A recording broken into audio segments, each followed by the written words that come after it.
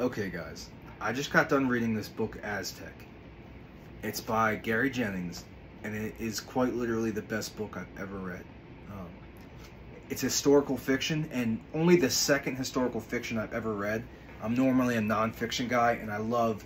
Uh, I'm big into the Roman Empire, so I love reading, uh, you know, Roman biographies about Caesar Augustus. I actually just read a book about Alexander the Great, which was good, but it's it's really dry reading. There's no it's a story, but it's not written with any kind of artistic or you know, it's it's just a biography about this guy's life. If you're not interested in Alexander the Great, you probably wouldn't like the book, and it was hard to get through. I'm not going to lie to you. This book was the opposite. It captivated me from the beginning. I could not put this book down, and I'm a slow reader. Um, this is a hefty book. It's 760 pages. This would have normally taken me like half a year probably uh, to get through. I read it in less than two months just because it was so good. A lot of you guys are probably faster reading than I am. Um, but for me, that was really quick. I could not put this book down. It was so good and so captivating. Um, I first got into historical fiction books. Like I said, this is the only second, only the second one I've ever read.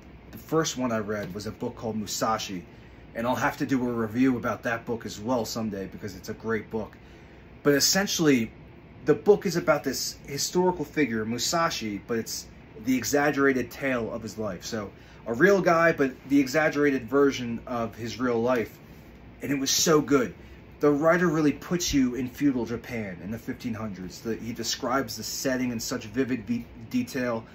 And uh, you feel like you're traveling along Japan with him, going on this adventure and all the little adventures contained therein, the people he meets, and them coming back into the story later. Such a good book. I wanted another story like that.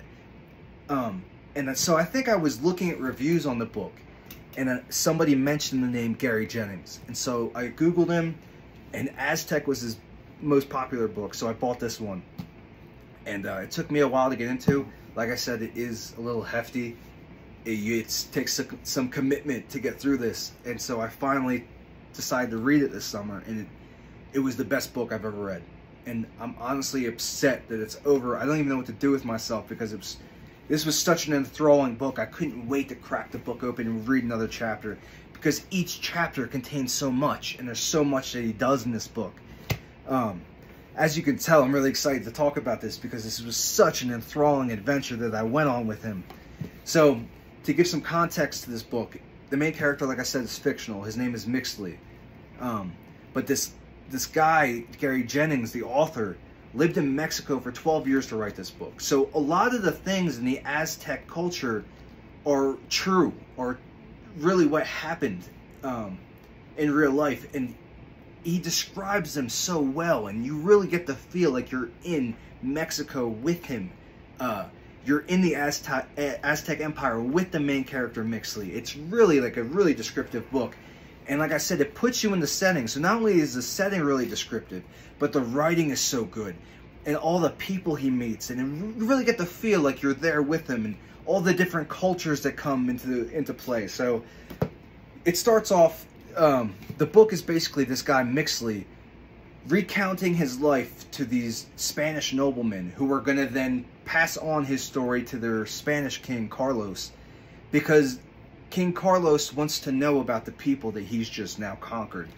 And so this guy Mixtli basically comes to tell him about the former Aztec Empire.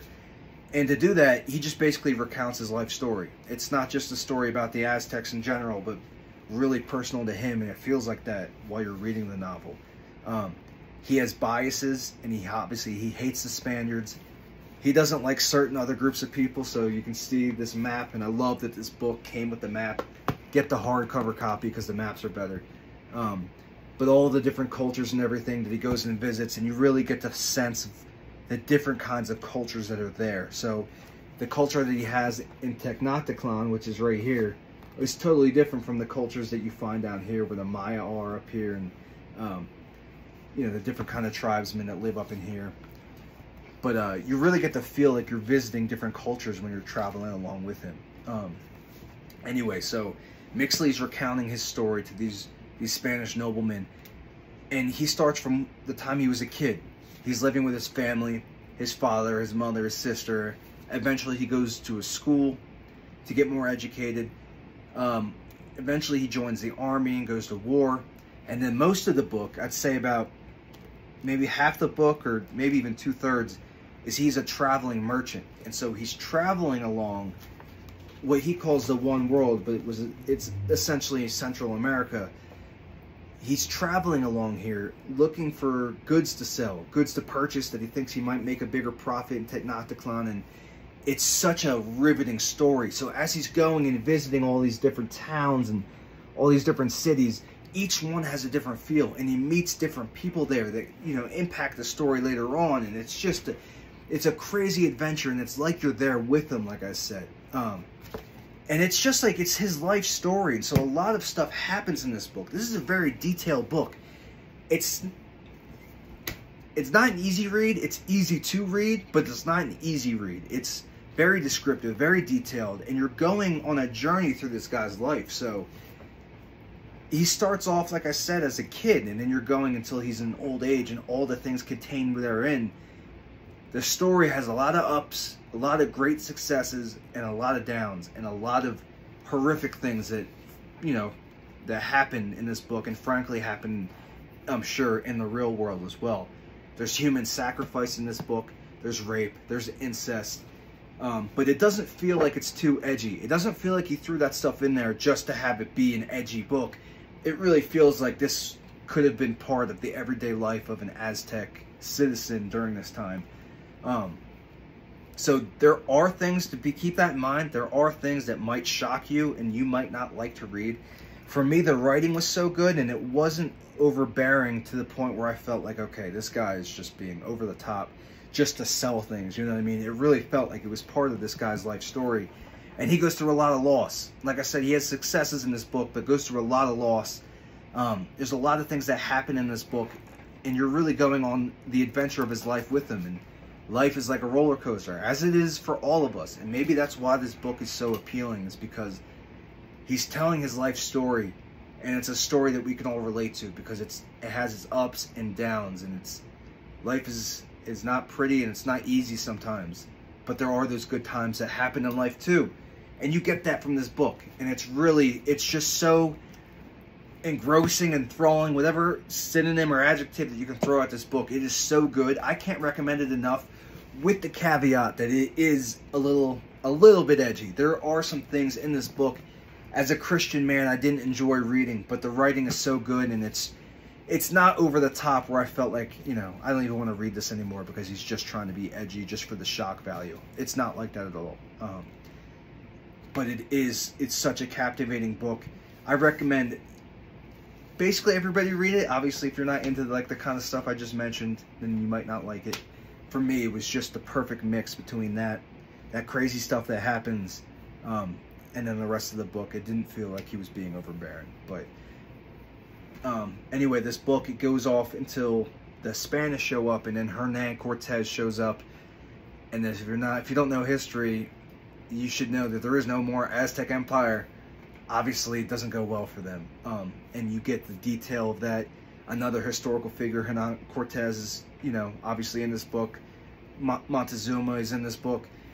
Um, so there's historical figures in it, and as a historian, not a historian, but a historical buff, as myself, I look for that in books. Even though I'm reading fiction, historical fiction for me, it has to be historically accurate, otherwise I can't get into it. You know what I mean?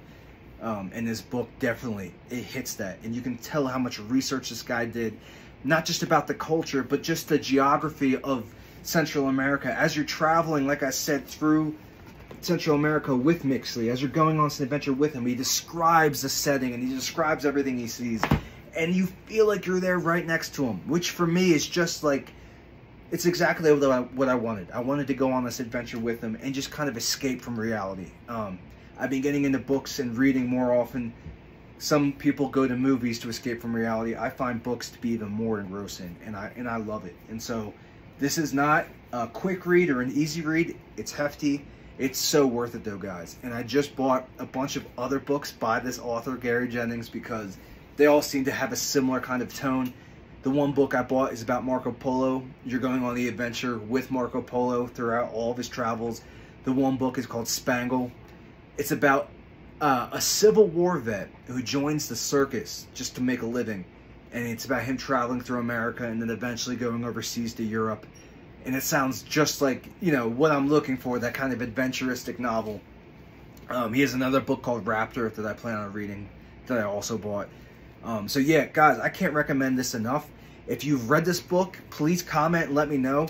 Um, if you enjoy hearing me talk about these books, I want to do more reviews like this. Please like and comment and let me know. Please follow me so I know that you guys are interested. And that, that'll give me the motivation that I definitely need to keep doing this kind of stuff. So I hope you enjoyed sitting here with me as I got to talk about this book. As you can tell, I'm so excited because this was just such an amazing book. Um, so I plan on doing more reviews in the future. Like I said, please like, comment, uh, follow, subscribe, whatever.